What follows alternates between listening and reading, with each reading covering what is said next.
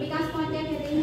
धारणीय विकास। और टिकाऊ विकास इसको हम सतत विकास भी कहते हैं सस्टेनेबल डेवलपमेंट भी कहते हैं धारणीय विकास भी कहते हैं और टिकाऊ विकास भी कहते हैं।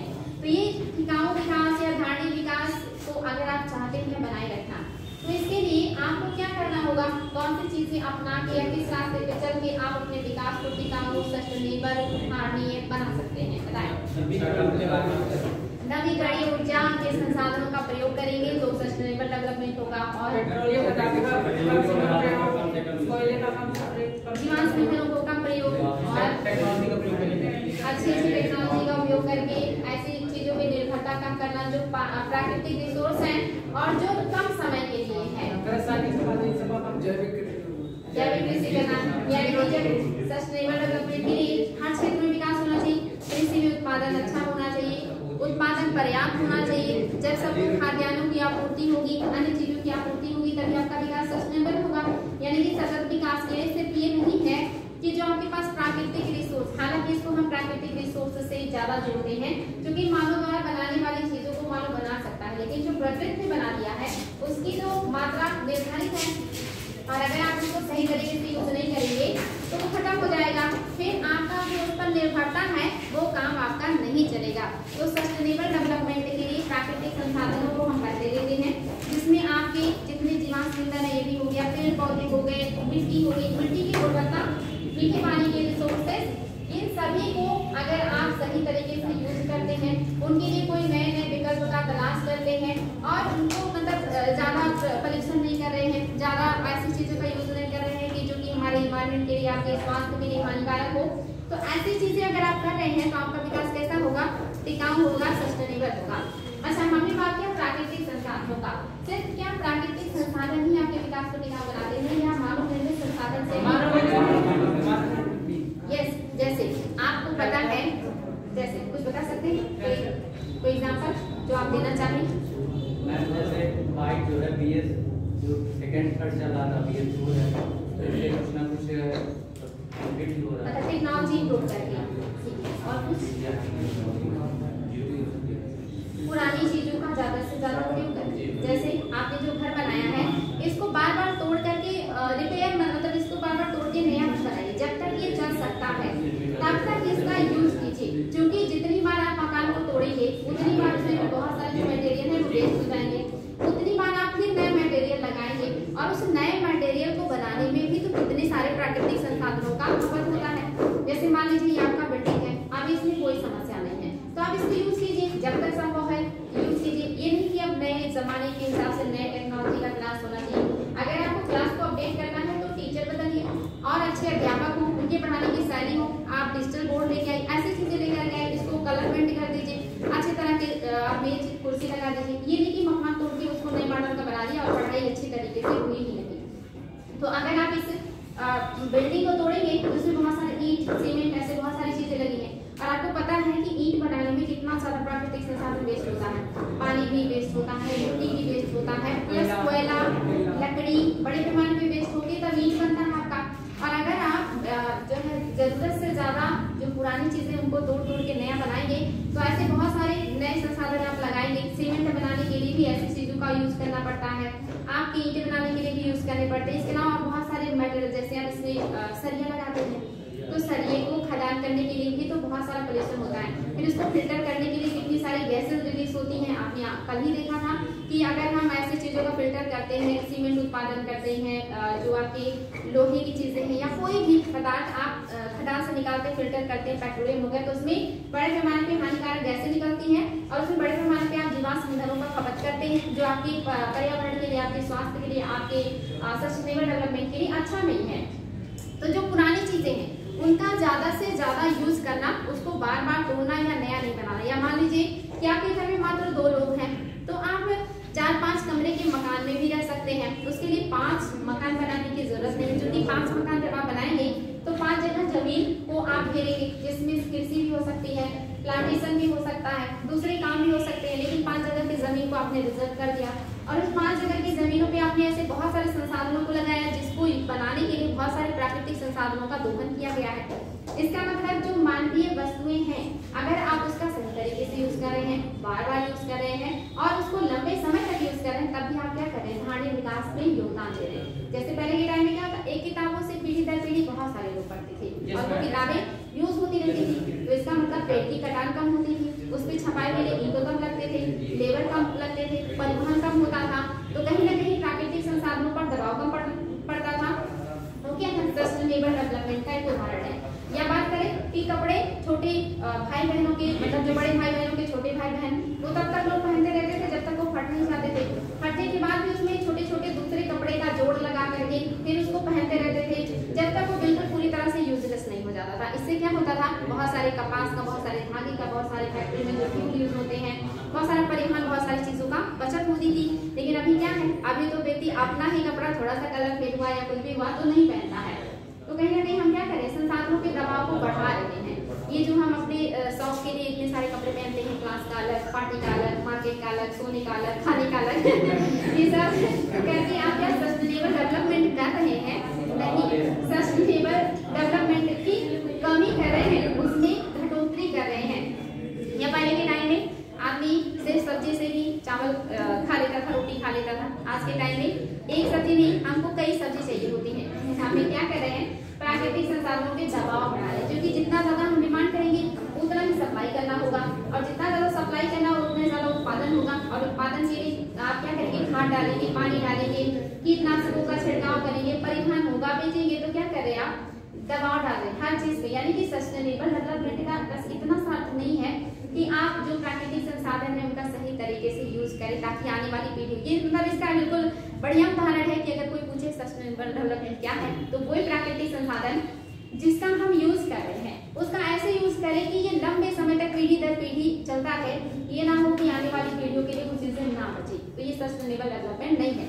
लेकिन ये इतना ही सीमित नहीं होता, इसका एरिया बहुत ब्रॉड है और ये आपकी हर गतिविधि से जुड़ा हुआ है, चाहे वो मानव निर्मित हो या प्राकृतिक हो। मोस्टली प्राकृतिक को हम इसीलिए लेते हैं जो कि वो लिमिटेड होती है और मोस्टली समाप्त हो सकती है जो नहीं समाप्त हो सकती उसके यूज़ को बढ़ावा दीजिए जैसे सौर ऊर्जा को बढ़ावा दीजिए पवन ऊर्जा को बढ़ावा आप ऊर्जा को बढ़ावा दीजिए। बायोमास को बढ़ावा दीजिए। ऐसे चीज़ों को बढ़ावा देंगे तो आप सस्टेनेबल डेवलपमेंट में मदद करेंगे, योगदान देंगे।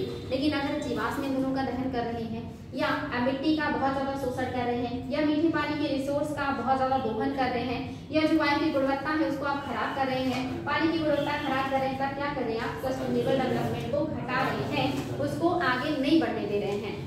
तो ये पता हो कि सस्टेनेबल डेवलपमेंट क्या है और कौन कौन सी चीज़ें आपको इस रास्ते पे आगे ले जाती है तो आपको बिल्कुल भी डरना नहीं पड़ेगा। आप तुरंत समझ जाएँगे ये डेवलपमेंट सस्टेनेबल है या नहीं है। तो बात समझ में आ गया? और सस्टेनेबल डेवलपमेंट के लिए क्या शिक्षा ज़रूरी है? ज़रूरी है। यस शिक्षा बहुत ज़रूरी है। ज़रूरी नहीं बहुत ज़रूरी है। क्योंकि पढ़ा लिखा समझदार व्यक्ति ही जानेगा कि वस्तु की वैल्यू क्या है। हालाँकि सबसे ज़्यादा दुरुपयोग वस्तुओं का पढ़े लिखे लोग ही आजकल कर रहे हैं, क्योंकि सबसे ज़्यादा गाड़ी वही चलाते हैं, सबसे ज़्यादा मोबाइल जैसे बेकार की चीज़ें वही यूज़ करते हैं, सबसे ज़्यादा कपड़े वही बदलते हैं, सबसे ज़्यादा किताबें पेज पन्ने वही खराब करते हैं। तो अगर वो सही तरीके से चीज़ों को यूज़ करें और लोगों को भी बताएँ प्लांट्स लगाएँ और ये सारी चीज़ें करें तो बेहतर किया जा सकता है, क्योंकि हर समस्या का समाधान शिक्षा में है। अगर शिक्षा बेहतर होगी तो सभी समस्याओं का समाधान हो सकता है, लेकिन शिक्षा ऐसी नहीं कि सात वर्ष का है और कोई भाषा पढ़ना लिखना जानता है। हमारी जनगणना के अकॉर्डिंग क्या होता है? शिक्षित उसे कहेंगे, जो सात वर्ष या उससे अधिक का हो और कोई एक भाषा पढ़ना, लिखना जानता हो, वो शिक्षित है। ऐसे शिक्षित तो इंडिया में बहुत है, लेकिन सही मायने में नॉलेज किसके पास है? सही मायने में सब्जेक्ट को समझता कौन है? सही मायने में हिस्ट्री ज्योग्राफी पॉलिटी का ज्ञान किसको है? यहाँ तो सिर्फ़ डिग्रियाँ पढ़ी हुई है, घर बैठे सभी को मिल जा रही हैं और पीएचडी तक लोग घर बैठे कर ले रहे हैं। तो ऐसा शिक्षा नहीं। ऐसा शिक्षा जो एक ऐसा मानव बनाए जो संसाधन हो। इकोनॉमी में दो तरह के संसाधन है। एक आपका मानवीय और दूसरा आपका भौतिक, यानी कि पूंजीगत। तो मानवीय संसाधन का विकास कब होगा? जब उसको सही शिक्षा मिलेगी, जब उसको सही जानकारी मिलेगी, जब वो एक सोचने, समझने वाला प्राणी बनेगा। ये नहीं कि बैग उठाया और आए और टीचर क्या पढ़ा के गया, कुछ पता नहीं। बस कपड़े कहीं खराब तो नहीं हुए, कहीं ऐसा तो नहीं कि मेरा लुक गड़बड़ हो गया ये नहीं, आपने आज क्या सीखा? आपने जो लेसन मतलब लेसन पढ़ा, उसके बारे में आपको कितनी जानकारी हुई? आपने उसको कितना गुणता से फील किया? अगर उससे एग्ज़ाम में क्वेश्चन बनते हैं तो आप उसको कितना बेहतर तरीके से सॉल्व कर सकते हैं? वो चीज़ें गुणवत्ता को बताती हैं कि क्लास की गुणवत्ता क्या है। अगर सिर्फ़ ऐसे ही क्लासेस चलती हैं और बच्चों को उसका कुछ भी नहीं पता है तो ऐसे शिक्षा का कोई मतलब नहीं है। हमारे यहाँ ऐसी ही शिक्षा चल रही है। प्राइमरी लेवल से लेकर के हायर लेवल तक। अगर कहीं थोड़ी बहुत पढ़ाई होती है तो प्राइवेट में लेकिन वहाँ भी पढ़ाई कम दिखावा जाता है। हर दिन एक नया कपड़ा और हर हर क्लास में किताबें हाँ बेटी बताएँ हमारे यहाँ शिक्षा ऐसी दी जाती है जीत गए तो इनाम हार गए तो मार ये भी सही है। तो ये हैं सरकारी स्कूलों का कोई लेवल नहीं रह जा रहा है। प्राइवेट स्कूल लेवल दिखाते दिखाते इतना हाई लेवल कर देते हैं कि शिक्षा का वहाँ पे आडम्बर ज़्यादा रहता है। प्राइमरी में आडम्बर भी नहीं है और शिक्षा भी नहीं है, दोनों बातें नहीं है। तो हम बात करें सस्टेनेबल डेवलपमेंट यानी कि टिकाऊ विकास का। टिकाऊ विकास के लिए गरीबी दूर करना नवीकरणीय संसाधनों पर आपका निर्भरता, यानी कि आप कितना ज़्यादा ऐसे चीज़ों का यूज़ कर रहे हैं जो आपके यहाँ पॉल्यूशन नहीं कर रहे हैं या संसाधनों का दोहन नहीं कर रहे हैं। कृषि आपका ऐसा हो जो टिकाऊ हो और साथ ही परंपरागत ज्ञान का यूज़ जैसे पहले के टाइम में लोग जब खेती करते थे तो खेत में खाद डालते थे। हम आज क्या डालते हैं? उर्वरक। खाद मतलब कंपोस्ट खाद खाद मतलब गोबर की खाद। खाद मतलब ऐसे जो वनस्पतियों और जीवों के अवशेषों के सड़ने, गलने से बनते हैं। ऐसे खादों का जब हम यूज़ करते थे तो जो खेत में उत्पादन होता था, वो उत्पादन अच्छा होता था और उसकी गुणवत्ता भी अच्छी होती थी। लेकिन आज हम फर्टिलाइज़र यानी कि खाद का यूज़ करते हैं, जिसमें यूरिया फास्फोरस पोटास ऐसे बहुत सारे खाद आते हैं और साथ ही बहुत सारे कीटनाशक। ये आपके उत्पादन को तो बढ़ा देते हैं, लेकिन धीरे धीरे करके एक टाइम के बाद उत्पादन भी फिर नहीं बढ़ता। और उत्पादन की जो क्वालिटी है, उसको क्या कर देते हैं? ये घटा देते हैं। तो अगर आप सस्टेनेबल डेवलपमेंट चाहते हैं तो आपको कृषि कैसे करनी होगी? ज़ीरो टिलेज कृषि करनी होगी। सबसे पहले तो जैविक कृषि। सबसे आसान है? जैविक कृषि। जैविक कृषि का क्या मतलब है? बताइए। आपने इकोनॉमी में भी पढ़ा है जैविक रासायनिक खाद का प्रयोग न करना वर्मी कंपोस्ट इन सब का इन सब चीज़ों से कृषि करना यस रासायनिक खादों और कीटनाशकों का बिल्कुल यूज़ नहीं करना जो भी आपके तौर तरीके से खाद और चीज़ें बनाई जाती हैं, उसका यूज़ करके उत्पादन करना ही कहलाता है जैविक कृषि। और उसके क्या क्या फ़ायदे हैं, मैंने आपको बताया था। पहला तो उत्पादन की क्वालिटी बढ़ेगी, यानी कि उत्पादन, जो भी उत्पाद होगा, वो टेस्ट होगा उसमें, और आपके सेहत के लिए वो अच्छा होगा। दूसरा, मिट्टी की गुणवत्ता बनी रहेगी। तीसरा, जल की गुणवत्ता बनी रहेगी। चौथा वायु की गुणवत्ता बनी रहेगी। चौथा आपके मतलब जो पॉल्यूशन वगैरह है मतलब पांचवा जो पॉल्यूशन वगैरह है, ये बहुत कम होंगे और मिट्टी की जो गुणवत्ता है, वो लंबे समय तक बनी रहने की वजह से उत्पादन धीरे धीरे बढ़ेगा। और बढ़ने के साथ ही जो उत्पादन की क्वालिटी है, वो भी बढ़ेगा। और ये आपके हेल्थ के लिए भी, पानी के लिए भी, मिट्टी के लिए भी और एनवायरमेंट के लिए भी आपकी जो जैविक कृषि है, ये बहुत अच्छी है। दूसरी हमने बात किया था ज़ीरो टिलेज कृषि की। ज़ीरो टिलेज कृषि आप लोग इकोनॉमी में पढ़े हैं क्या कोई बता सकता है कि ज़ीरो टेलेस या आपकी शून्य जुताई कृषि किसे कहते हैं कृषि गोबर हो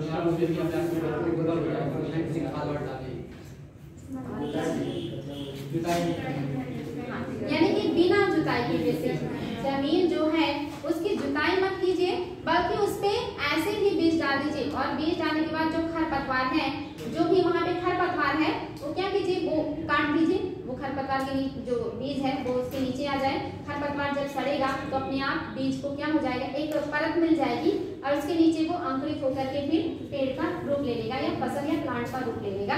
यानी कि खेत की जुताई नहीं करनी है, बल्कि खेत में जो खरपतवार है, उसको उसी में रहने देना है, उसको जलाना नहीं है, उसको वहाँ से फेंकना नहीं है, बल्कि उसको काट के उसी खेत में छोड़ देना है और उसमें बीज को लगाना है। इससे क्या होगा कि मिट्टी एक उर्वर होगी क्योंकि इससे जो खरपतवार है, वो उसी में सड़ेंगे। दूसरा क्या होगा, जब आप जुताई नहीं करेंगे तो खेत में बहुत सारे जो गैसेज होती हैं, वो रिलीज़ नहीं होंगे। और जुताई के दरमियान बहुत सारे जो अच्छे जीवाणु होते हैं उनकी मृत्यु हो जाती है, वो भी नहीं होगा और अगर आप खेत में केसिका तो बन जाती है केसिका तो मतलब जो पानी को नीचे भी ले जाते हैं लेकिन अगर खेत में पानी नहीं है तो नीचे से ऊपर भी लेके आते हैं। जब पानी ज़्यादा रहता है तो ऊपर से वो नीचे लेके जाते हैं क्योंकि नियम है अधिक से कम की ओर जाता है। कोई चाहे तापमान हो वो भी और बाकी चीज़ें भी वाटर मतलब जो भी चीज़ें हैं वो आपकी ज़्यादा से कम की ओर जाती है। जब पानी ऊपर ज़्यादा रहता है तो वो नीचे की तरफ़ जाती है उन्हीं केसिकाओं से। लेकिन जब आपके ऊपर की मिट्टी सूखी हो जाती है तो जब क्या होता है नीचे से ऊपर आता है। इसलिए आप देखिए, अक्सर जब लोग चाहते हैं कि खेत में नमी बना रहे तो ऊपर जुताई कर देते हैं। जो केसिकाएँ होती हैं, उसको काट देते हैं, ताकि जो पानी नीचे से ऊपर आ रहा था, वो रुक जाए। तो अगर आपने उसमें प्लांट्स के अवशेष डाल दिए हैं तो पानी, जो केसिकाएँ हैं, वो ढक जाएँगी। तो सीधा वहाँ से पानी वाष्पीकृत नहीं होगा। और अगर आप उसमें सिंचाई करेंगे तो उस खरपतवार के नीचे आपकी जो पानी है, जो कि वो मिट्टी खुली नहीं है तो वो क्या करेगा? वो भी पानी के लंबे समय तक नमी को बनाए रखेगा। तो पानी की कम जो पानी की मतलब एक तरीके से कि हम ज़्यादा यूज़ कर रहे थे, पानी की बचत हुई। दूसरी, हमने जुताई नहीं किया तो बहुत सारे जीवाणु नष्ट नहीं हुए। बहुत सारा जो गैस रिलीज़ होता है, धान के खेत से या बाकी खेतों से, वो नहीं रिलीज़ किया। तो ग्लोबल वार्मिंग में भी हमने कमी करने का प्रयास किया। तीसरा, हमने मिट्टी की उर्वरता को बढ़ाया बिना किसी रासायनिक खाद डाले। और हम, अगर हमने कोई रासायनिक खाद नहीं डाला तो जो हमने उससे उत्पादन किया उसकी क्वालिटी भी तो बढ़ गई उसकी उत्पादक मतलब जो उत्पादन की जो क्वालिटी है, जैसे उसकी मिठास, जैसे उसमें पौष्टिक जो तत्व होते हैं, वो भी बढ़ गया। तो पॉल्यूशन नहीं हुआ, पानी वेस्ट नहीं हुआ, मिट्टी की गुणवत्ता नहीं खराब हुई, उत्पादन की भी गुणवत्ता नहीं खराब हुई। और इस तरह से आपने बहुत सारी ऐसी चीज़ें नहीं किया जिससे आपके इन्वायरमेंट को, आपकी मिट्टी को, आपके जल को, आपकी सेहत को हानि पहुँचती है। तो ये आपका ज़ीरो टिलीस मतलब समझ गए ना कि बिना जुताई के ये सुने सुने मतलब होता है कुछ नहीं। तो सुने जुताई के लिए, ज़ीरो टिलीस जुताई के लिए। या कहिए कि बिना जुताई के कृषि ये भी आपके सस्टेनेबल डेवलपमेंट के लिए ज़रूरी है। इसके अलावा आपने सहकारी कृषि जैसा नाम सुना होगा। क्योंकि आपके यहाँ कृषि का जो जोत का आकार है, काफ़ी छोटा है। आपके यहाँ ज़्यादातर किसान कैसे हैं? सीमांत किसान सीमांत किसे कहते हैं? जिसके पास एक हेक्टेयर से कम भूमि होती है, उसे हम सीमांत किसान कहते हैं। आपने इकोनॉमी में चीज़ पढ़ा था। और आपके यहाँ ज़्यादातर किसान कैसे हैं? सीमांत किसान है। पास एक हेक्टेयर से कम भूमि है और ऊपर से जनसंख्या बढ़ती जा रही दिन प्रतिदिन तो वो जमीनें और भी ज़्यादा छोटे छोटे टुकड़ों में बढ़ते जा रहे हैं। तो सहकारी कृषि का मतलब होता है कि बहुत सारे लोग मिलकर के एक बड़े से भूखंड पर कृषि करते हैं और साथ में मिलकर उसमें अच्छा बीज लगाते हैं। अच्छी टेक्नोलॉजी का यूज़ होता है सिंचाई का और सभी चीज़ का यूज़ होता है, जिससे उत्पादन अच्छा होता है और लोगों के ऊपर लागत कम आती है। तो ऐसी चीज़ें करके, यानी कि उत्पादन की गुणवत्ता को बढ़ा रहे हैं उत्पादन को बढ़ा रहे हैं आप इन्वायरमेंट पानी और मिट्टी की गुणवत्ता जो हरास करती थी ऐसी चीज़ों का यूज़ नहीं कर रहे हैं आप तो आप क्या कर रहे हैं? सस्टेनेबल डेवलपमेंट कर रहे हैं। और शिक्षा तो ज़रूरी है कि सस्टेनेबल डेवलपमेंट के लिए। अगर आप शिक्षित नहीं होंगे तो फिर आपका मानसिक विकास नहीं होगा। और अगर आपका मानसिक विकास नहीं होगा तो फिर मानव पूंजी का निर्माण नहीं होगा। और अगर मानव पूंजी का निर्माण नहीं हुआ तो इकोनॉमी के दृष्टिकोण से आपका देश बहुत ज़्यादा दिनों तक डेवलप नहीं कर पाएगा। जो कि दो विकास होते हैं पूंजी विकास और एक मानव संसाधन। अगर मानव संसाधन कहीं का डेवलप है तो आर्थिक और पूंजीगत विकास कर लेगा। लेकिन अगर आपका मानव संसाधन विकसित नहीं है तो आपके यहाँ आर्थिक विकास भी ज़्यादा समय तक नहीं चलेगा या वो बहुत कम लोगों के हाथों में होगा। जैसे जो भी आपके पेट्रोलियम उत्पादन करने वाले देश हैं मैक्सिमम इस्लामिक कंट्रीज़ हैं जिनके पास तेल कुएँ हैं और ऐसी चीज़ें हैं वो बहुत पैसा कमाते हैं। जिससे प्रति व्यक्ति आय जब निकालेंगे तो बहुत आता है। लेकिन देखिए स्थिति महिलाओं के यहाँ पे क्या है? स्टडी और बाकी चीज़ों में मानसिक विकास, सामाजिक विकास में बहुत कम है। बहुत पीछे है वो। जबकि वहीं पे अगर सभी का विकास होता अच्छे से पढ़ाई लिखाई होती तो चीज़ें बहुत आगे हो सकती थी। जैसे सिंगापुर ले लीजिए, हांगकांग ले लीजिए। ये देश मानव पूंजी के धनी है। जापान मानव पूंजी के धनी है, मानव संसाधन के धनी है। और अगर मानव संसाधन समृद्ध है तो बाकी पूंजी का विकास वो कर लेगा। उनके यहाँ अपना प्राकृतिक रिसोर्स नहीं है, बहुत कम रिसोर्स है। ज्वालामुखी उद्गार बहुत होते हैं, भूकंप बहुत आते हैं, समस्याएँ बहुत है, सुनामी भी आता है।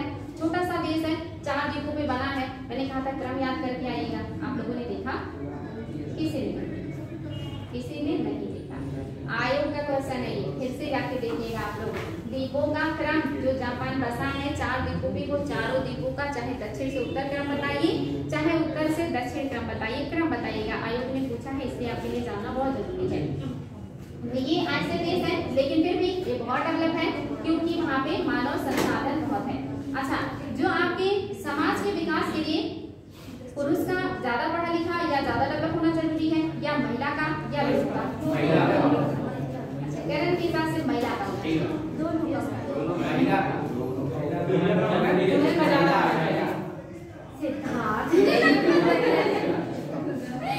मैंने ये नहीं कहा कि आप पुरुष कह रहे हैं इसलिए और किसी ने महिला का इसलिए नहीं। देखिए ना तो सिर्फ़ महिला का पढ़ा लिखा बहुत मतलब विकास ज़रूरी है और ना ही दोनों का ज़रूरी है। क्योंकि मैंने आपको पहले भी समझाया था कि किसी एक का विकास होने से विकास संभव नहीं है। दोनों का विकास ज़रूरी है, क्योंकि आपकी सोसाइटी में दो ही जिंदर हैं जो ज़्यादातर हर चीज़ में हिस्सा लेते हैं और जिनके ऊपर ये समाज निर्भर है, एक महिला और एक पुरुष। अगर उसमें से कोई भी अभी मान लीजिए, आप वॉयस हैं, आप बहुत पढ़े लिखे समझदार हैं, जागरूक हैं, लेकिन आपकी वाइफ पढ़े लिखे नहीं समझदार नहीं है तो जीवन भर दुखी रहेंगे। कभी खुश रहेंगे क्या? नहीं तो है। पागल है हमेशा फ्रस्ट्रेट रहेंगे और अगर पत्नी बहुत पढ़ी लिखी समझदार है, और पति नहीं है तो वो वो भी फ्रस्ट्रेट रहेंगे फिर तो अगर दोनों की ही नहीं बनेगी तो बच्चों का विकास कैसे करेंगे? वो भी डिस्टर्ब रहेंगे कि मम्मी पापा तो हमेशा लड़ते रहते हैं हमेशा मसला ही है तो आप घर का ही ले लीजिए या अपने खुद के जीवन से ले लीजिए अगर आपके जीवन में इतनी समस्या हो सकती है आपके एक जोड़े के ना पढ़े लिखे ना समझदार होने से तो सोसाइटी में कितनी समस्याएँ होंगी देश में कितनी समस्या अच्छा सिद्धार्थ का सोच तो इतना अच्छा है ये क्या बकवास कर रहे हैं आज वही तो कह रहे हैं, आप कम से कम आप लोगों की सोच पे मुझे मतलब अब पता नहीं कैसा है लेकिन मुझे यही लगता है कि आप लोगों की सोच बहुत अच्छी है और डेफिनेटली अच्छी होनी चाहिए क्योंकि इतना कॉन्फिडेंस ऐसे ही नहीं है तो ये बात समझ में आई ना आप लोगों को कि पढ़ाई लिखाई सबका बहुत ज़रूरी है चाहे वो महिला हो या पुरुष हो अच्छा आज भी देख लीजिए पढ़ाई के क्षेत्र में तो महिलाओं को अभी काफ़ी मतलब प्रोग्रेस देखने को मिला है। जिसका यहाँ पे भी उदाहरण है कि महिलाएँ हैं लड़कियाँ हैं। लेकिन क्या अन्य क्षेत्रों में राजनीति के क्षेत्र में महिलाएँ हैं उतना आगे हैं? आर्थिक क्षेत्र में क्या महिलाओं को उतना अधिकार है जितना होना चाहिए? नहीं है ना? यानी कि बाकी अन्य क्षेत्रों में सिर्फ़ पढ़ाई को छोड़ दिया जाए और वो पढ़ाई भी जहाँ पढ़े लिखे समझदार लोग हैं वहाँ है। आप हमारे ही देश में जहाँ पे ज़्यादातर इस्लाम के लोग रहते हैं, मैं किसी भी कुछ कह नहीं हूँ, बस ये कह रही हूँ वहाँ पे महिलाओं की शिक्षा उतनी अच्छी नहीं है। उनको उतना फ्रीडम नहीं है। अभी भी उनके ऊपर बहुत सारी बंदिशें हैं। कपड़ा पहनने से लेकर के और बाकी चीज़ों में भी बंदिशें देखने को मिलती हैं। ठीक ना? अब ये मत सोचिएगा कि कुक मंडूक जैसे मैं जहाँ रहता हूँ, वहाँ सब सही है तो पूरे इंडिया में सब सही है। ग्रामीण क्षेत्रों में जाएँगे या यहाँ से उत्तर यूपी है पूर्वी बेल्ट में जाइए आप। जैसे जैसे पूर्वी बेल्ट में जाएँगे महिलाओं की स्थिति अच्छी नहीं है जैसे जैसे आप पश्चिम में जाएँगे महिलाओं की स्थिति ठीक है। लेकिन जैसे जैसे आप दक्षिण में जाएँगे स्थिति फिर खराब बनेगी क्योंकि उधर डेवलपमेंट कम है और जैसे आप उत्तर में जाएँगे स्थिति ठीक है। तो आपके अपने ही राज्य में इतनी विविधता देखने को मिलेगी। आप बिहार में चले जाइए देख के आइए महिलाओं की स्थिति क्या है। आप अपने ही इसी बस्ती ज़िले में ग्रामीण इलाके में चले जाइए देख के आइए महिलाओं की स्थिति क्या है। अभी भी उनसे ना तो आर्थिक क्षेत्र में कोई राय लिया जाता है, ना तो घर के किसी बड़े मैटर में उनसे कोई राय लिया जाता है। यहाँ तक कि शादी जैसे ज़िंदगी के इतने महत्वपूर्ण रिश्तों में भी अभी बहुत सारे क्षेत्रों में लड़कियों की राय नहीं ली जाती है। तो पूरे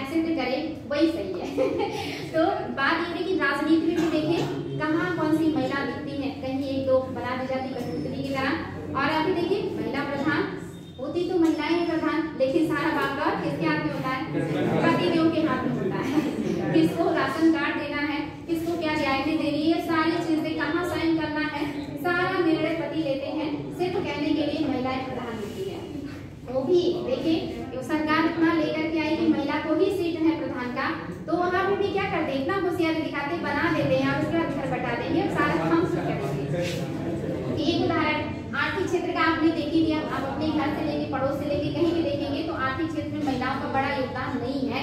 बहुत जो लोग पढ़े लिखे थोड़े समझदार हैं, वो लोग थोड़ा राय ले लेते हैं और वो भी एहसान मानते हैं कि उनके घर में तो महिलाओं को इतना भी दे देते तुम्हें तो मैं इतना सम्मान दे रहा हूँ। उसको भी क्या? एहसान बनवाते हैं कि तुम एहसान मानो कि तुम्हें मैं इतना सम्मान दे रहा हूँ उनको देखो उनके घर में महिलाओं को कोई इज़्ज़त नहीं कि मैं दे रहा हूँ, ये बेचारी का अधिकार है। तो ऐसा मैंने फील किया अगर कोई सम्मान दे देता है तो उसको लगता है कि मैं इनके ऊपर एहसान कर रहा हूँ क्योंकि बाकियों को तो मिलता नहीं इनको मैंने दिया है तो ऐसा भी आपकी सोसाइटी में आप कितने भी योग्य हो जाएँगे ना आपको सम्मान देने के बाद लोग उसको एहसान समझेंगे कि आपके ऊपर हमने एहसान किया है, आपको सम्मान देके क्योंकि आप महिला हैं, इसलिए आपको सम्मान पाने का अधिकार नहीं है। ऐसी चीज़ें जब आप सोसाइटी में निकलेंगे तो आपको देखने को मिलेगा। तो ये क्या है? आपके सस्टेनेबल डेवलपमेंट में बाधा उत्पन्न कर रहे हैं। कहीं ना कहीं आपके विकास को रोकते हैं। अच्छा जो आपकी सिंधु घाटी सभ्यता है मानते हैं कि बहुत ज़्यादा विकास था हर चीज़ में उन्होंने बहुत उन्नति की थी। और हम ये भी मानते हैं कि वहाँ पे महिलाओं को बहुत ज़्यादा सम्मान था समाज में तो कहीं ना कहीं ये भी उनके विकास के लिए जिम्मेदार हो सकता है कि हर क्षेत्र में महिलाएँ योगदान दे रही थी महिलाएँ मदद कर रही थी उनको समाज में पुरुषों से ज़्यादा सम्मान दिया गया है ऐसा वहाँ से जो क्योंकि कोई लिखित साक्ष्य नहीं है जो मूर्तियाँ मिली है वहाँ पे महिलाओं की मूर्तियाँ ज़्यादा मिली है उनकी पूजा किए जाने का साक्ष्य मिला है और पूजा किसकी होती है जिसका सम्मान होता है और अगर वहाँ पे सम्मान रहा होगा तभी पूजा होती रही होगी या संख्या किसकी ज़्यादा होगी जिसका प्रभुत्व रहा होगा तो इसलिए हम अनुमान लगाते लेकिन वास्तविकता में क्या था कोई नहीं जानता है एक मिस्ट्री है जिसका किसी के पास कोई जो है जवाब नहीं है और इस पे रिसर्च जारी है, अभी तक तो ये बिल्कुल मिस्ट्री ही बना हुआ है। तो वहाँ से लेके फिर अगर हम स्टडी करते हैं हिस्ट्री का तो महिलाओं की स्थिति या बाकी जो जैसे हमने वर्ण व्यवस्था में देखा था कि काल के बाद वर्ण व्यवस्था सभ्यदिक काल में तो वर्णों में जो नीचे क्रम में हमने जिन लोगों को स्थान दिया था, उनकी स्थान में लगातार गिरावट आई, महिलाओं की स्थिति में गिरावट आई, और हमने बर्ड में जिसको चौथे नंबर का स्थान दिया था, जिसको हमने शूद्र कहा, इनकी स्थिति में लगातार गिरावट आई, और अभी भी उन दोनों की स्थिति महिलाओं की स्थिति भी वही है कि उन्हें राजनीतिक आर्थिक और बाकी क्षेत्रों में वो आज़ादी नहीं है।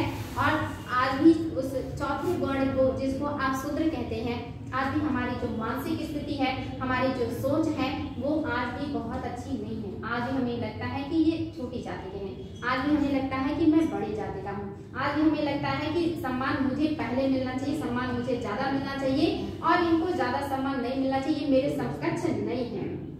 तो वो स्थिति जो खराब हुई दिनों दिन, वो आज भी बहुत अच्छी नहीं है। समाज में दिखाने के लिए भले ही हो, लेकिन जब तक आपकी मानसिकता नहीं बदलेगी जैसे अब यहाँ पे फाउंडेशन है कि कोई भी लड़की कहीं भी बैठ सकता है, लड़का कहीं भी बैठ सकता है। आप यहाँ कुछ नहीं बोल रहे हैं। चुपचाप है क्योंकि आप यहाँ बोलेंगे तो आपकी बेजती हो जाएगी। लेकिन ये वाला नहीं होना चाहिए। होना ये चाहिए कि आप दिल से एक्सेप्ट करते हैं कि कोई कहीं भी बैठ सकता है, कोई किसी से भी बात कर सकता है, कोई किसी से कम नहीं है। जब तक ये दिल से और अपने दिमाग से नहीं सोचेंगे तब तक परिवर्तन नहीं आने वाला है। अच्छे कपड़े और अच्छा दिखावा तो कोई भी कर ले सकता है। लेकिन आपके अंदर से कितनी अच्छाइयाँ हैं, आप अंदर से कितने अच्छे हो, ये तो आपकी सोच ही बताती है। और वो सोच कभी छिपती नहीं है। कोई अच्छा बनने का कितना भी ढूंढ कर ले, उसकी सोच अगर डेवलप नहीं हुई तो वो छिपती नहीं, वो पता चल ही जाती है। तो इसीलिए विकास होना है तो क्या करना है? सोच को डेवलप करना है। और सोच को डेवलप करने के लिए जो सबसे सीधा और अच्छा रास्ता वो है शिक्षा। अच्छी शिक्षा, हर विषय की अच्छी शिक्षा और बच्चों को अच्छे से समझाना। आप एनसीईआरटी को किसी अच्छे टीचर से पढ़ के देखिए, आपका वो मानसिकता डेवलप होगा। अगर वो उस मानसिकता से पढ़ाए जिस मानसिकता से एनसीईआरटी को बनाया गया है तो बच्चे की बहुत अच्छी मानसिक डेवलप होगी। लेकिन अगर ऐसे ही पढ़ा दिया गया खाना पूर्ति की तरह, जैसे आज भी हमारे यहाँ एनसीईआरटी लागू है बहुत सारे स्कूलों में, लेकिन बच्चों की मानसिकता डेवलप नहीं हुई, इसके लिए कौन जिम्मेदार है? टीचर्स उन्होंने उस मानसिकता से बच्चे को पढ़ाया ही नहीं। अन्यथा एनसीईआरटी पढ़ने के बाद बच्चे को, जो है, बहुत सारी चीज़ें उसकी बदल जाए। अगर उसको दिल से पढ़ा दिया जाए तो बहुत जो रूढ़ीवादी किसी की आप जीन्स या जेनेटिक ही खराब है उसको आप बहुत हद तक नहीं बदल सकते। कुछ लोग जिस सोच के साथ दुनिया में आते हैं, उसी सोच के साथ जाते हैं। कुछ लोग ऐसे होते हैं जो हर रोज सीखते हैं और अपने अंदर परिवर्तन लाते हैं। सच्चाई को एक्सेप्ट करते हैं, परिवर्तन को मानते हैं। लेकिन बहुत सारे ऐसे लोग होते हैं कि वो कोई परिवर्तन एक्सेप्ट नहीं कर सकते। ऐसे भी जीव हैं और ज़्यादातर जीव ऐसे ही होते हैं जो परिवर्तन एक्सेप्ट नहीं करना चाहते हैं। और जो परिवर्तन एक्सेप्ट नहीं करता, वो क्या होगा? सस्टेनेबल नहीं हो सकता। वो अनुकूलन नहीं कर सकता, वो अपने आप को सबसे अलग ही कर लेगा और उसको अलग ही रहना होगा। तो ये बात समझ में आया? सस्टेनेबल डेवलपमेंट का? चलिए देखते हैं। तो सस्टेनेबल डेवलपमेंट के लिए आपको क्या क्या करना होगा? शिक्षा का विकास होना चाहिए, नवीकरणीय ऊर्जा होनी चाहिए, प्रतिस्थापन प्रतिस्थापन मतलब ऐसी चीज़ों का कम यूज़ जिसकी वजह से पॉल्यूशन हो, जिसकी वजह से संसाधन समाप्त हो, ऐसी चीज़ों का यूज़ जो ज़्यादा दिनों तक चले और जो आपके इन्वायरमेंट के लिए, आपके स्वास्थ्य के लिए अच्छा हो। साथ ही आत्मनिर्भरता जब तक आपके अंदर आत्मनिर्भरता नहीं आएगा, तब तक आपका सही तरीके से विकास नहीं हो सकता। और आत्मनिर्भरता हर क्षेत्र में, इसके अलावा अनुकूलनशीलता, अगर आपके अंदर एडॉप्टेशन नहीं है तो आप ज़्यादा दिनों तक कहीं सर्वाइव नहीं कर पाएँगे। अनुकूलन होना चाहिए एडाप्टेशन इंसान के अंदर होना चाहिए और हर परिस्थिति को, हर सच्चाई को, हर चीज़ को एडाप्ट करने की क्वालिटी होना चाहिए। कभी भी एक धारणा बना के नहीं रखना चाहिए कि आई एम द बेस्ट या जो मैं सोच रहा हूँ वही सही है, या मेरी सोच सबसे अच्छी है, या मुझे बहुत ज़्यादा ज्ञान है, या मेरे जैसा कोई नहीं है। अगर ऐसी किसी की सोच है तो उसका पतन निश्चित है और वो ज़्यादा दिनों तक सस्टेनेबल नहीं हो सकता। तो अनुकूलनशीलता होनी चाहिए। अच्छी चीज़ों को एक्सेप्ट करने की, सच्चाई को एक्सेप्ट करने की क्षमता अगर है, और अच्छी चीज़ों को एक्सेप्ट करते हैं, परिस्थितियों के अनुसार ढाल लेते हैं तो आप सस्टेनेबल होंगे, आप टिका होंगे। आप देखिए, ऐसे ऐसे जमींदार जो बड़े क्रूर होते थे। उनके मरने के बाद उनका सब कुछ समाप्त हो गया। लेकिन ऐसे जो अच्छे थे, समझदार थे, जिन्होंने अच्छी चीज़ों को एक्सेप्ट किया, अपने घर में, अपने बच्चों में डेवलप किया, वो जो पहले अमीर थे, वो अपनी ऐसी सोच की वजह से गरीब हो गए। उन्हें लगता था, मेरे जैसा कोई नहीं, मेरे जैसा पावरफुल मेरे जैसा पैसे वाला कोई नहीं है, मैंने उदाहरण बहुत सारी देखी अपने गाँव में, कि जो लोग बहुत घमंड रखते थे, पैसे का पावर का और किसी को कुछ नहीं समझते थे, आज उनके घर में बहुत कम लोग बचे हैं कि जो मतलब अमीर हो और उनके पास पैसा और पावर कुछ भी रह गया हो दोनों समाप्त हो गया। लेकिन वो लोग जो अच्छे इंसान बन के रहे, बहुत गरीब थे, आज वो लोग का साम्राज्य इतना बढ़ गया है कि आज वो गाँव के सबसे धनी व्यक्तियों में जाते हैं। तो अगर उनके अंदर अनुकूलन क्षमता होती तो उनका साम्राज्य और बढ़ता, लेकिन उन्होंने उसको नहीं अडॉप्ट किया तो साम्राज्य उनका समाप्त हो गया। ऐसे उदाहरण मैंने अपने गाँव में ही कई लोगों को देखा कि जो पहले बड़े धनी थे, उनके अंदर घमंड आ गया, पैसे का धन का, वो समाप्त हो गए, और जो उदार थे, वो धीरे धीरे करके धनी हो गए आज। इसके अलावा आपका है संस्थागत प्रतिबद्धता, संस्थागत और अंतर पीढ़ीगत समानता। अंतर पीढ़ीगत समानता, यानी कि जैसे आप ये कभी मत सोचिए कि ये जो चीज़ें आपको मिली हैं, इस पर आपका अधिकार है या आपको ये विरासत में मिली है आपके घर वालों से। ये हमेशा सोचिए कि आपने बहुत सारी चीज़ें उधार ली हैं आने वाली पीढ़ियों से। जो यूज़ कर रहे हैं, वो आने वाली पीढ़ियों का हक है। जो आप उधार भी यूज़ कर रहे हैं मत सोचिएगा आपको विरासत में मिली है, जो क्योंकि प्राकृतिक संसाधनों पर सबका अधिकार होता है, तभी कोई चीज़ विरासत में नहीं मिलती है। लोग भले इस बात का कमेंट करें कि हमें तो हमारे दादा पर दादा से मिले, लेकिन दादा पर दादा ने वो बनाया नहीं था। उसको जैसे भी करके हासिल किया है, लेकिन बनाया नहीं है। और हासिल की हुई चीज़ को आप अपनी विरासत नहीं समझ सकते। जो आपने अपनी मेहनत से, अपने दम पर कमाया है, वो आपका है। जो आपको विरासत में मिला, वो आपका कभी नहीं हो सकता। तो जो आपको मिला है, प्राकृतिक रूप से कभी मत सोचिएगा कि वो आपके अधिकार है, वो आपको विरासत में मिला है। ये सोचिएगा कि आने वाली पीढ़ियों का उधार है, उनके हिस्से का आप खर्च कर रहे हैं। इसी कहा जाता अंतर पीढ़ीगत समानता ये नहीं कि हमें तो विरासत में इतना सारा खेत मिला है तो हम उसका जितना चाहे दोहन कर ले। उस खेत में आने वाली पीढ़ियों को भी फ़सल उगाना है और उनको भी भोजन चाहिए। इसलिए आप उसका ऐसे यूज़ करें कि उनके लिए भी बचा के रखें, वो भी यूज़ कर सके उस मिट्टी का, उस जल का, उस हवा का, क्योंकि इस पर उस हर व्यक्ति का अधिकार है जो इस दुनिया में आएगा। ऐसा नहीं है जो पहले है, उसका सब कुछ, जो बाद में आया, उसका कुछ भी नहीं। क्योंकि ये प्राकृतिक है और नेचर ने सबके लिए बनाया है। आप अपने पावर, अपने दिमाग का यूज़ करके ऐसे संसाधनों को बहुत ज़्यादा यूज़ करते हैं, अगर दोहन करते हैं तो ये क्या है? ये गलत है। तो अंतर पीढ़ी का समानता होना चाहिए, यानी कि सभी पीढ़ी को समान अधिकार मिलने चाहिए। साथ ही आप देखेंगे, विकल्पों का संरक्षण यानी कि जितने आपके पास विकल्प हैं, चाहे वो पानी के हो, चाहे वो जीवाश्म ईंधनों के हो, या है जो भी हो, उन सबका आपको संरक्षण करना चाहिए। जैसे मैंने कहा, आपके पास मकान है तो आप उसका संरक्षण कीजिए। जब तक वो आपकी यूज़ से बेकार ना हो जाए, जब तक यूज़ कर सकते हैं, तब तक उसका इस्तेमाल कीजिए। ये ना करिए कि चलो, अब मिला है पैसा है तो इसको तोड़ के फिर नया बना दे। फिर आपकी पीढ़ी को लगे नहीं मॉडल तो पुराना हो चुका है, चलो फिर से तोड़ के बना लेते हैं। ये ना करके उसका संरक्षण कीजिए, उसमें नई नई चीज़ें ले आइए नई नई सोच डेवलप कीजिए नई नई तौर तरीके डेवलप कीजिए, मकान को तोड़ के नया बनाने से आपकी सोच नई नहीं हो जाएगी। तो जो चीज़ें हैं, उसका क्या करना? संरक्षण। और वो संसाधन सिर्फ़ प्राकृतिक ही नहीं, जो आपने कृत्रिम रूप से बनाए हैं, उसका भी संरक्षण करना।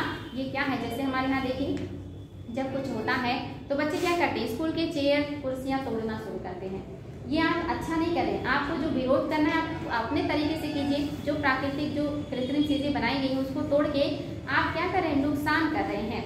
आप अगर कहीं गाड़ियाँ जला दे रहे हैं, आप किसी मतलब जो है संसाधनों को तोड़ रहे हैं, फोड़ रहे हैं, जला रहे हैं तो आप ये अच्छा काम नहीं कर रहे हैं। तो उसको दूसरे तरीका अगर कोई है तो उसको अपनाइए। कभी भी संसाधनों को नुकसान पहुँचा के कोई चीज़ नहीं करना चाहिए। ये अच्छा नहीं होता है। इसके अलावा आपका है गुणवत्ता का संरक्षण। ये नहीं कि पानी तो हम बचा रहे हैं पानी की क्वालिटी को भी बचाना है। ये नहीं कि पानी को तो हम नहीं दोहन कर रहे हैं। आप पानी में अगर विषाक्त पदार्थ मिला रहे हैं तो पानी किस काम का है? अगर आप, आप मिट्टी है आप मिट्टी का संरक्षण नहीं कर रहे हैं ऐसी कृषि कर रहे हैं जिसमें बहुत ज़्यादा कीटनाशक डाल रहे हैं बहुत ज़्यादा उर्वरक डाल रहे हैं तो मिट्टी एक टाइम के बाद उत्तर हो जाएगा। मिट्टी तो बची हुई है लेकिन मिट्टी में क्वालिटी ही नहीं रही। आपने क्वालिटी ही नहीं बचाया। आपने पानी तो बहुत बचाया लेकिन पानी में इतने सारे हानिकारक पदार्थ मिला दिए कि वो पीने योग्य ही नहीं रह गया। आपने उसकी क्वालिटी को ही नहीं बचाया तो फिर वो पानी किस काम का रहा तो इसलिए जो बचाना है संरक्षण के साथ साथ उसकी गुणवत्ता को भी बचाना है। ना कि पेड़ तो हमने बचाए हैं, लेकिन वो कैसे पेड़ बचाए? वो ऑक्सीजन वाले हैं कि ऑक्सीजन लेने वाले हैं? ये भी ध्यान देना है। इसके अलावा और क्या करना है? अधिशेष का संरक्षण। अधिशेष आप यहाँ देखिए, अधिशेष का संरक्षण नहीं हो पाता।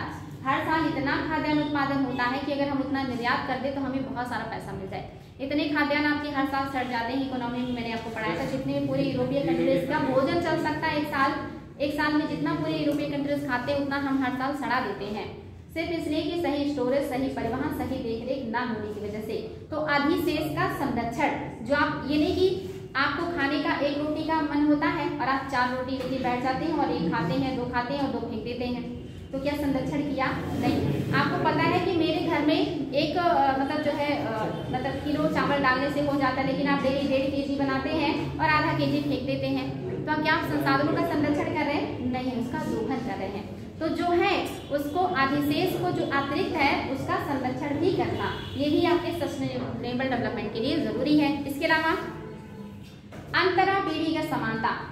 वही कि अपने हर पीढ़ी को समान अधिकार है, हर पीढ़ी के लिए चीज़ें बची रहनी चाहिए, हर पीढ़ी को ये सारी चीज़ें मिलनी चाहिए। साथ ही लैंगिक असमानता को समाप्त करना। जैसे अभी मैंने कहा, लैंगिक असमानता में राजनीतिक क्षेत्र में महिलाओं को अधिकार नहीं है, आर्थिक क्षेत्र में उन्हें वो अधिकार नहीं है, शिक्षा के क्षेत्र में है, लेकिन अभी भी उतना अधिकार नहीं है जितना कि उनको मिलना चाहिए। उनको तब मिलता है जब घर में बाकी की जरूरतें पूरी हो जाती है, उसके बाद उनके बारे में सोचा जाता है। तो ये नहीं होना चाहिए, बल्कि इक्वल होना चाहिए। दोनों का मानसिक, शारीरिक, हर तरह का जो विकास है, वो समान होना चाहिए। जब समान होगा, तभी विकास होगा, तभी ये चीज़ें आपकी सस्टेनेबल होगी। अन्यथा ये चीज़ें नहीं होगी। दिखाने के लिए आप कुछ भी कर लीजिए। अगर एक वर्ग पढ़ रहा है और आगे पढ़ रहा है और दूसरा वर्ग नहीं पढ़ रहा, पीछे रह रहा है तो कहीं ना कहीं उसके विकास को अवरुद्ध करेगा कुछ। उसको समस्याएँ होंगी हर क्षेत्र में। अगर दोनों पढ़े लिखे हैं हम समान रूप से वर्क कर रहे हैं तो विकास तेज होगा। जैसे यूरोपीय कंट्रीज़ में, वो क्यों आगे हैं? जो कि कहीं ना कहीं यहाँ से ज़्यादा हर चीज़ का अधिकार महिलाओं को है। वो हर क्षेत्र में मदद कर रही हैं, योगदान दे रही हैं। उनका जो मानव है, वो अगर पढ़ा लिखा समझदार है अच्छा है तो वो एक संसाधन है। अन्यथा वो बोझ है। तो आप अगर नहीं पढ़ा लिखा रहे नहीं हर चीज़ों में अधिकार दे रहे हैं तो फिर महिलाएँ क्या होगी? आपके ऊपर बोझ। आपको उनका, उनके पैसे की ज़रूरत पूरी करना, उनको बार बार समझाना, उनको ये, चलो यहाँ बाहर जाना है तो कैसे खड़े रहना है? ज़्यादा बात नहीं करनी है। देखो, हिंदी में बात करना, कपड़े ऐसे मत पहन लेना। मतलब आप क्या नहीं डिस्टर्ब हो रहे हैं ना, फालतू समय दे रहे हैं। आपको वो आउटपुट नहीं मिल रहा जो आप चाहते हैं फिर भी दुखी है। लेकिन अगर वही पढ़ी लिखी समझदार होती तो आपको कहना नहीं पड़ता। वो हर चीज़ अपने से हैंडल कर लेती तो कहीं ना कहीं आपका विकास होता आपका गौरव बढ़ता। सिद्धार्थ क्या वो बच्चा बहुत ऐसी आ रही है आपको? ये सही है कि नहीं है बच्चा? पहले ही बता दो मुझे आपको। सही है ना? बिल्कुल सही है। तो अगर ऐसा अभी देखिए आप दूसरों को छोड़िए अपनी बहन को ही ले लीजिए। अगर वो पढ़ी लिखी समझदार है तो आपको उसके लिए ज़्यादा चिंता नहीं होगा। लेकिन अगर पढ़ी लिखी नहीं तो कहेंगे पागल है कुछ समझती नहीं कोई कुछ भी कह देगा तो मान लेगी। तो कहीं ना कहीं डिस्टर्ब हुआ। वही सब चीज़ें है ना। कितने बच्चे तो बोलते हैं ना कि मम्मी को स्कूल नहीं लेके जाएँगे क्योंकि इंग्लिश में बोल नहीं सकती। मम्मी को नहीं लेके जाएँगे क्योंकि भोजपुरी बोलती हैं। इनको तो बोलने नहीं आता है, इनको तो बात करने नहीं आता। तो कहीं ना कहीं हम अपने माँ बाप को क्यों सोसाइटी के सामने नहीं लेके आना चाहते? क्योंकि हमने तो पढ़ लिख लिया हमारा तो तरीका स्टैंडर्ड हो गया, लेकिन हमारे माँ बाप नहीं पढ़े लिखे। तो उनके तरीके स्टैंडर्ड नहीं है, वो अभी भी पुराने तौर तरीके से उनको वैसा कुछ भी नहीं आता, जैसा उम्मीद करते हैं। अगर वही पढ़े लिखे होते तो आपको या, आपकी आने वाली पीढ़ी को समस्याएँ नहीं होती तो हर कोई समस्या फेस करता है, लेकिन इसको कोई एक्सेप्ट करना नहीं चाहता है। ये भी एक तरह की ज़बरदस्ती ही है। लेकिन कोई बात नहीं, देखते हैं कब तक ज़बरदस्ती चलेगी। अगला है आपका वहन क्षमता। वहन क्षमता। आप सभी को पता है कि मिट्टी को मतलब किसी भी चीज़ को मतलब वहन करने की या बर्दाश्त करने की क्षमता है। पानी का भी हर चीज़ को बर्दाश्त करने की क्षमता है। वायु का भी हर चीज़ को बर्दाश्त करने की क्षमता है, लेकिन आप उसकी क्षमता से ज़्यादा अगर यूज़ करेंगे, उसकी क्षमता से ज़्यादा दोहन करेंगे, उसकी क्षमता से ज़्यादा उसमें विषाक्त पदार्थ मिलाएँगे तो जवाब दे दी, जैसे पृथ्वी का कार्बन धारण करने की क्षमता है, वो कार्बन स्पेस कहलाता है। अगर वो क्षमता से बाहर काम करेंगे तो आपके लिए हानिकारक है। तो धारण करने की क्षमता है हर चीज़ की, उसके क्षमता से ज़्यादा उसका दोहन, विदोहन या, जो है दुरुपयोग ना करिए, अन्यथा फिर ये सस्टेनेबल डेवलपमेंट नहीं हो पाएगा। अब बात करेंगे सस्टेनेबल विकास प्राप्त करना चाहते हैं तो क्या तो आप सभी को पता है कि गैर परंपरागत ऊर्जा का यूज़ करना और परंपरागत चीज़ों पे निर्भरता को कम करना, साथ ही स्वच्छ घरेलू ईंधन का यूज़ करना, जो घरेलू ईंधन है वो स्वच्छ हो। इसके अलावा परंपरागत ज्ञान और व्यवहार का यूज़ जैसे पुराने तौर तरीके थे, हम संसाधनों का ज़्यादा से ज़्यादा यूज़ करते थे, उसको मतलब कि एक ही संसाधन का हम तब तक यूज़ करते थे जब तक वो यूजलेस ना हो जाए। तो ये हमारी परंपरागत ज्ञान थी, जो हमें कपड़े, भोजन खेती, पानी, हर चीज़ का यूज़ करना सिखाती थी। हम पहले पानी को, बारिश के पानी को तालाबों में, गड्ढों में स्टोर करते थे। आज कौन करता है? हम कपड़ों को तब तक पहनते थे जब तक उसके चिथड़े ना हो जाए। आज कौन करता है? हम किताब को तब तक पढ़ते थे जब तक वो पढ़ने मतलब लायक ना रह जाए, तब तक पढ़ा जाता था। पेज पेज, पन्ने पन्ने इकट्ठा करके लोग पढ़ते थे। तो वो चीज़ें हमें अभी भी सीखनी चाहिए, उनसे हमें समझना चाहिए। शाम का खाना बचता था, लोग सुबह उठ के खा लेते थे। कभी खाना फेंका नहीं जाता था क्योंकि सीमित संसाधन होते थे और लोगों का उस पर निर्भरता होती थी। आम की खा आम तो खाते ही थे, उसकी गुठलियाँ भी खाते थे। आज कौन खाता है? महुआ भी खाते थे। महुए की कोयने का तेल भी रखते थे, उसको भी यूज़ कर लेते थे। आज कौन करता है? तो ये सारी चीज़ें पहले बड़े पैमाने पे यूज़ होती थी। ये क्या था? हमारी परंपरागत ज्ञान थी, जो आज नहीं है। हाँ बेटी? अब तो पेड़ ही नहीं पेड़ ही आपने कटहल का कोआ खाया होगा, उसका लेयर होता है, उसका बीज पहले के टाइम में उसको भी लोग भून के रखते थे और उसको भी भून के खाते थे, सब्ज़ी बना के खाते थे अभी बहुत कम, जो बड़े जो मतलब बहुत शौकीन भी वही खाते हैं, अन्यथा स्टैंडर्ड लोग नहीं खाते सब्ज़ी भी बनाते थे ऐसी बहुत सारी चीज़ें जो तालाबों थी तोड़ तोड़ के खाते थे। बहुत सारे अलग अलग तरह की जो वनस्पतियाँ होती थी, उसको खाते थे। आज हम ऐसे बहुत सारी चीज़ों को नहीं खाते हैं खास करके आजकल के बच्चे हर उस चीज़ को नहीं खाना पसंद करते हैं, जो पुराने टाइम का है। हर उस नई चीज़ को खाते हैं, जो नए टाइम का, यानी कि फास्ट फ़ूड बड़े शौक से खाते हैं। परंपरागत ज्ञान और व्यवहार पता ही है आपको, पर्यावरण हितैषी नवीन तकनीक का प्रयोग ऐसे ऐसे तकनीकों का नई नई तकनीकों का यूज़ जो आपकी पर्यावरण के लिए अच्छी हो, हिताशी हो। जनसंख्या वृद्धि को कम करना। एक बहुत बड़ी समस्या आपकी जनसंख्या वृद्धि है। हर तरह के विकास के लिए अवरुद्ध है जनसंख्या वृद्धि। अगर आप इसको रोकें तो बहुत सारी समस्याओं का आप हल निकाल सकते हैं। ये भी आपके सस्टेनेबल डेवलपमेंट में क्या है? रुकावट है। और साथ ही पारिस्थितिकी संरक्षण, आप अपने पर्यावरण पारिस्थितिक का संरक्षण कीजिए। ऐसे चीज़ों का यूज़ ऐसी चीज़ों का प्रयोग ना कीजिए जो आपके पर्यावरण पारिस्थितिक तंत्र को नुकसान पहुंचाते हो। तो अगर ऐसा कर रहे तब भी आपका विकास सस्टेनेबल डेवलपमेंट हो सकता है। सतत विकास के लिए भारत ने आठ लक्ष्य रखे थे। और आठ लक्ष्यों में आपने देखा था, जो जलवायु परिवर्तन को भी रोकेंगे और आपके विकास को भी बढ़ाएँगे, वो हमने बहुत डिटेल में पढ़ लिया है। सतत विकास का सबसे पहला विश्व स्तर पे जो सम्मेलन हुआ था, वो रियो डे जनेरियो का हुआ था, उन्नीस सौ बानवे में। उसके दस साल बाद रियो दस साल बाद हुआ था रियो प्लस टेन हुआ था, जो कि कहाँ पे हुआ था? जोहान्सबर्ग यहाँ पे हमने जो एजेंडा इक्कीस रखा था ना सस्टेनेबल डेवलपमेंट के लिए बानवे में, उसको हमने और भी बेहतर आगे बढ़ाने का प्रयास किया। साथ ही हमने यहाँ पे मिलानियम डेवलपमेंट गोल रखा। सहस्त्राब्दी विकास लक्ष्य। ये कब रखा है?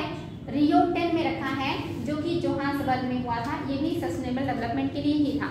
इसके बाद फिर से रियो प्लस ट्वेंटी दस साल बाद रियो में फिर से हुआ, जहाँ पे रियो ट्वेंटी हुआ और यहाँ पे हमने फिर से सस्टेनेबल डेवलपमेंट का जो है लक्ष्य रखा, यानी कि जो आपका मिलानियम डेवलपमेंट गोल था, उसको छोड़ करके हमने सस्टेनेबल डेवलपमेंट गोल को अपनाया था। ये घटना कब की है? तो ये रियो ट्वेंटी ही है, जो कि वहीं ब्राज़ील में ही हुआ था। बानवे के बाद अगर आप बीस साल ले लें तो बारह हो गया ना। 2012 में हुआ था। यहाँ पे हमने एसडीजी का लक्ष्य रखा था और 2002 में हमने एम का लक्ष्य रखा था। मिलानियम डेवलपमेंट गोल रखा था। तो याद रखिएगा, ये सब किस दिशा में काम कर रहे हैं? सस्टेनेबल डेवलपमेंट के विकास के लिए काम कर रहे हैं। तो ये सारी चीज़ें हो गई हैं। क्या आप लोग क्वेश्चन भी सॉल्व करेंगे या लेट हो रही है? क्या किया जाए? कल करवा दें? चलिए, ठीक है। तो ठीक है